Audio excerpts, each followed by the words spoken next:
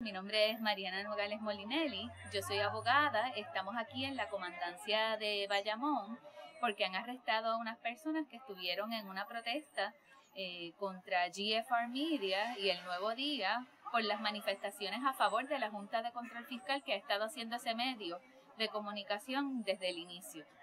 En algún momento, algunos medios eh, manifestaron que la ley promesa no era una buena ley para Puerto Rico, sin embargo, el editorial ha cambiado por completo a estar a favor de la Junta. Esta es la primera vez que se llevan a cabo y se efectúan unos arrestos.